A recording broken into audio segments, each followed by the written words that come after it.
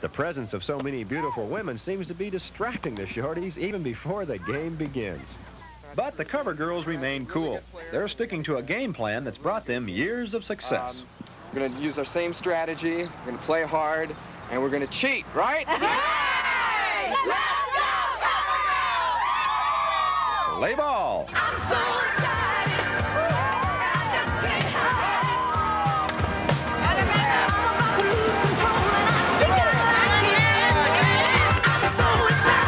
The teams are evenly matched.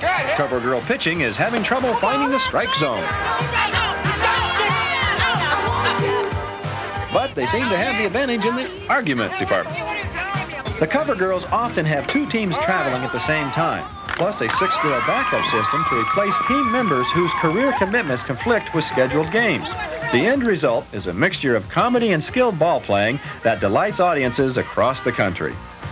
Oh, by the way, the cover girls beat the shorties by a surprisingly wide margin.